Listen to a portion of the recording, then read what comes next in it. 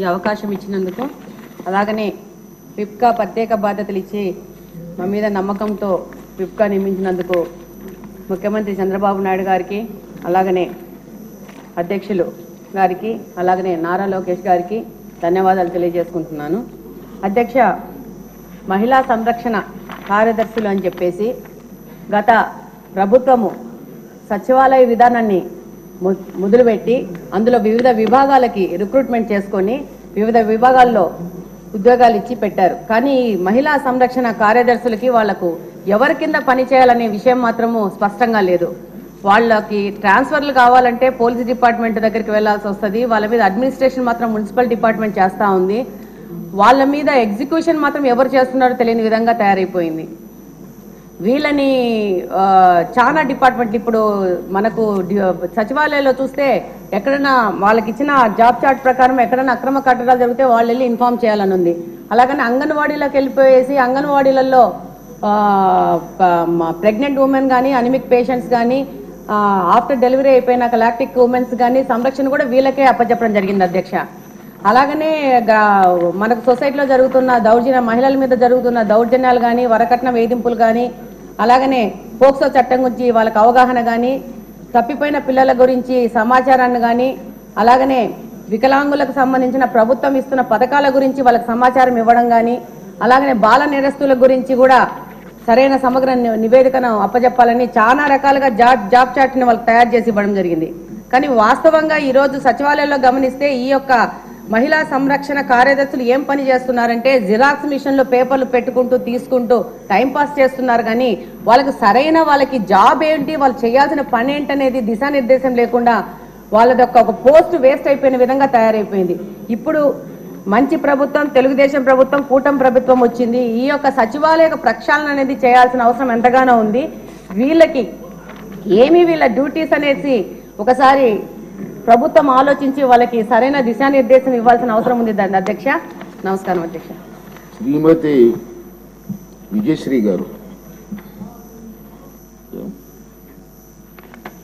Minister గారు మీరు reply అవ్వండి ఇట్స్ నాట్ అధ్యక్ష గౌరవ సభ్యులు రవికుమార్ గారు చరితారెడ్డి గారు మాధవిరెడ్డి గారు ఇచ్చిన వాళ్ళు అడిగిన క్వశ్చన్స్కి అధ్యక్ష ఇక్కడ ఇది ఒక పెద్ద దాని అంటే లాస్ట్ గవర్నమెంట్ అసలు అంటే ఇటువంటి దాన్ని ఏమంటారు యాక్ట్లను కూడా చదువుకోకుండా ఎంత గుడ్డిగా ఇటువంటి జీవోలు ఇష్యూ చేసిందని చెప్పడానికి ఇది ఒక తార్కాణం కింద మనం భావించవచ్చు అధ్యక్ష. ఎందుకంటే యాక్చువల్గా వీళ్ళని మహిళా లేదా గ్రామ వార్డు మహిళా సంరక్షణ కార్యదర్శుల కింద ఇందాక సభ్యులు చెప్పినట్టుగా GO number MS number one twenty nine ప్రకారం రెండు వేల పంతొమ్మిదిలో వీళ్ళు నియమించడం జరిగింది అధ్యక్ష. ఓవరాల్గా చూస్తే అధ్యక్ష వీళ్ళు పదిహేను వేల మంది రిక్రూట్మెంట్ చేస్తే అధ్యక్ష దగ్గర దగ్గర పదమూడు వేల ఎనిమిది వందల పదిహేను మంది ఈరోజు కార్యదర్శుల కింద మహిళా సంరక్షణ కార్యదర్శుల కింద పనిచేసే పరిస్థితి ఉంది అధ్యక్ష. అందులో సుమారుగా వెయ్యి నూట ఎనభై తొమ్మిది ఆటోమేటిక్గా ఇంకా ఖాళీలు ఉన్నాయి అధ్యక్ష. అయితే పదమూడు వేల ఎనిమిది వందల పదిహేను మందికి అధ్యక్ష రెండు వేల ఇరవై ఒకటికి వచ్చేసరికి మళ్ళీ జీవో నెంబర్ సిక్స్టీ ప్రకారం చేసుకుని వాట్ వాళ్ళని ఒక మహిళా రక్షణ కార్యదర్శుల కింద వార్డు లేక గ్రామ మహిళా రక్షణ కార్యదర్శుల కింద మార్చి వాళ్ళకి ఒక సపరేట్ జాబ్ చార్ట్ ఇచ్చారు అధ్యక్ష. జాబ్ చార్ట్లో కూడా అధ్యక్ష చూస్తే పోలీస్ డిపార్ట్మెంట్ ఇందాక కోన రవికుమార్ గారి సభ్యులు చెప్పినట్టుగా ఒక చీఫ్ సెక్రటరీకి ఎన్ని బాధ్యతలు ఉంటాయి? అన్ని బాధ్యతలు కూడా ఒక గ్రామ మహిళా సంరక్షణ కార్యదర్శికి అప్పచెప్పడం అన్నది చూస్తేనే అధ్యక్ష. వీళ్ళ తాలూకు అవివేకం అన్నది లాస్ట్ గవర్నమెంట్ తాలూకు అవివేకం అన్నది చాలా క్లియర్గా అర్థమవుతుంది అధ్యక్ష.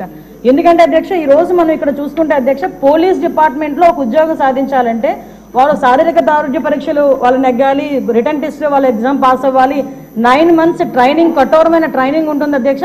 కఠోరమైన ట్రైనింగ్ తర్వాతనే ఆ పోలీస్ కానిస్టేబుల్స్ కింద వాళ్ళు అందరూ కూడా బయటకు వచ్చి పోలీస్ డిపార్ట్మెంట్ వర్క్ చేసే పరిస్థితి ఉంటుంది అధ్యక్ష. కానీ వీళ్ళని మహిళా రక్షణ కార్యదర్శి కింద ఏర్పాటు చేసిన తర్వాత కేవలం రెండంటే రెండే వారాలు వాళ్ళకి ట్రైనింగ్ ఇచ్చి ఒకటేమో ఒక వారం పోలీస్ డిపార్ట్మెంట్ వాళ్ళు ఇంకొక వారం ఐసిడిఎస్ డిపార్ట్మెంట్ వాళ్ళు ట్రైనింగ్ ఇచ్చి ఓవరాల్ చెప్పాలంటే వీళ్ళు గ్రామాల మీద వదిలేశారు అధ్యక్ష. వాళ్ళు పంపించిన తర్వాత కూడా వాళ్ళకి ఇష్ట ఇష్టాయిష్టాలు కూడా గ్రహించకుండా పోలీస్ డ్రెస్ కూడా వాళ్ళకి వేయటానికి ఇంచుమించుగా పోలీస్ యూనిఫామ్ కూడా వాళ్ళకి వేయాలి అని చెప్పి వాళ్ళు రిస్ట్రిక్ట్ చేస్తే వాళ్ళు కూడా దానికి భయపడి బాధపడి చాలా మంది కోర్టులకు వెళ్ళిన సందర్భాలు కూడా ఉన్నాయి అధ్యక్ష. ఈరోజు కోర్టులో దగ్గర దగ్గర ఏడు రిట్ పిటిషన్లు మహిళా కార్యదర్శికి సంబంధించి ఆ పోలీస్ డ్రెస్ విషయంలోనే కానీ వీళ్ళు జాబ్ చార్ట్ అవగా ఒక అవగాహన లేకుండా డబ్బులు ఇచ్చుకుని డబ్బులు ఇచ్చుకుని పెట్టుకున్నాడు కదా. ఆ మేధావులందరూ కలిపి ఆ మేధావులందరూ కలిపి ఆల్రెడీ పన్నెండు వేల మంది వీళ్ళు పనిచేస్తున్నారు కదా వీళ్ళని మనం పోలీసుల కింద కన్వర్ట్ చేసేస్తే వాటిని తగ్గించి వచ్చని ఒక ఉచిత సలహా పడేశారు అధ్యక్ష. దానికి వెనకాతలు ఒక పోలీస్ డిపార్ట్మెంట్ మీద ఒక అవగాహన పోలీస్ రిక్రూట్మెంట్ మీద ఒక అవగాహన వాళ్ళ తాలూకా జాబ్ చార్ట్ మీద ఒక అవగాహన ఉండుంటే ఇలాంటి పని చేసి ఉండేవారు కాదు అధ్యక్ష. ఈ రోజు వీళ్ళ పరిస్థితి ఏమైపోయిందంటే వీళ్ళు వెళ్ళి రిపోర్ట్ చేయాల్సింది గ్రామ సెక్రటరీకి రిపోర్ట్ చేయాలి. వీళ్ళ అడ్మినిస్ట్రేటివ్ పవర్స్ ఎక్కడ ఉంటాయంటే పోలీస్ డిపార్ట్మెంట్ దగ్గర ఉంటాయి. వీళ్ళకి జీతం ఇచ్చేదేమో ఎంపీడీఓ లీవ్ ఇచ్చేదేమో ఎంపీడీఓ. మళ్ళా తిరిగి ఒకవేళ ట్రాన్స్ఫర్ అవ్వాలంటే డిపార్ట్మెంట్ కలెక్టర్ దగ్గరికి వెళ్ళాలి అధ్యక్ష. అంటే వీళ్ళకి సంబంధించి ఒక అథారిటేటివ్ ఆఫీసర్ ఒకరు కూడా లేక ఇన్ని డిపార్ట్మెంట్స్తో పోనీ పైకి వచ్చిన తర్వాత ఏదైనా పని చేద్దామంటే వీళ్ళు తాలూకా అంటే పైచి ఎంత పెరిగిపోయిందంటే లాస్ట్ గవర్నమెంట్కి వీళ్ళ చేతే తక్కువ జీతాలు ఇచ్చి ఎక్కువ పని చేయించుకుందామని క్రైమ్ ఆఫ్ ఎఫెన్స్ దగ్గర కూడా కాపాడడానికి కూడా వీళ్ళు తీసుకెళ్ళాలంట. నాన్ బెయిలబుల్ వారెంట్లకు సంబంధించి వీళ్ళు సపోర్ట్ చేయాలంట. అక్కడికి వెళ్ళి మహిళా సంరక్షణ కార్యదర్శుల కింద మహిళా రక్షణ కార్యదర్శుల కింద అక్కడ ఉన్న అవగాహన కల్పించడం లేకపోతే ఐసీడీఎస్ సంబంధించి ఏదైనా మిడ్ డే మీల్స్ చూడడం అంతవరకు ఓకే. ఆఖరికి పోలీస్ డిపార్ట్మెంట్కి వాళ్ళ ఇన్వెస్టిగేషన్లోని కూడా వీళ్ళు హెల్ప్ తీసుకొని చేసుకునే పరిస్థితి కనిపించింది. లాస్ట్ గవర్నమెంట్లో చాలా మంది మాతోనే మొరపెట్టుకున్నారు అధ్యక్ష. మేము ప్రతిపక్షంలో ఉండేటప్పుడు పోరాటాలు చేసేటప్పుడు మాకు మాకు సెక్యూరిటీ కింద మమ్మల్ని ఆపడానికి సెక్యూరిటీ కూడా కాదు. మమ్మల్ని ఆపడానికి ఈ మహిళా కానిస్టేబుల్తో పాటు మహిళా పోలీసులు కూడా పంపించేవారు. మేము అడిగే వాళ్ళు మీరు ఎవరమ్మా మహిళా పోలీసా? మహిళా కానిస్టేబుల్ అంటే మహిళా పోలీస్ అండి అని. ఇందులో విషయం ఏంటంటే అధ్యక్ష చాలా మంది ఏస్ అయిపోయిన వాళ్ళు ఉన్నారు. మళ్ళీ ఇంకోటి ఏంటంటే ఎంటెక్లు బీటెక్లు చేసుకుని కొంతమంది ఫ్యామిలీస్ పోలీస్ డిపార్ట్మెంట్లోకి కొంతమంది యాక్సెప్ట్ చేస్తారు కొంతమంది యాక్సెప్ట్ చేయకపోతారు. ఇలాంటి సిచ్యువేషన్స్ అన్నింటిలోని కూడా ఈరోజు వీళ్ళు పడుతున్న బాధ అధ్యక్ష వర్ణనాతీతం. ఇంకొకటి ఇందులో కొసమేర్పు ఏంటంటే ఎన్నో సంవత్సరాలు కానిస్టేబుల్ కింద చేస్తే హెడ్ కానిస్టేబుల్ ప్రమోషన్ వస్తుంది. హెడ్ కానిస్టేబుల్ దగ్గర నుంచి ఒక ఏఎస్ఐ ఎస్ఐ సిఏ ర్యాంక్ వరకు వెళ్తారు. వీళ్ళు ఎటువంటి రిక్రూట్మెంట్ లేదు ఎటువంటి శారీరక దృఢ పరీక్షలు లేవు ఎటువంటి రిటర్న్ టెస్టులు లేవు ఎటువంటి ట్రైనింగ్స్ లేవు. వీళ్ళకి కూడా మహిళా పోలీస్ దగ్గర నుంచి అప్ టు ఇన్స్పెక్టర్ వరకు కూడా వీళ్ళకి కూడా ఒక ప్రమోషన్ జాబ్ చార్ట్ చేసి ఒక జీవో కూడా రిలీజ్ చేస్తారు.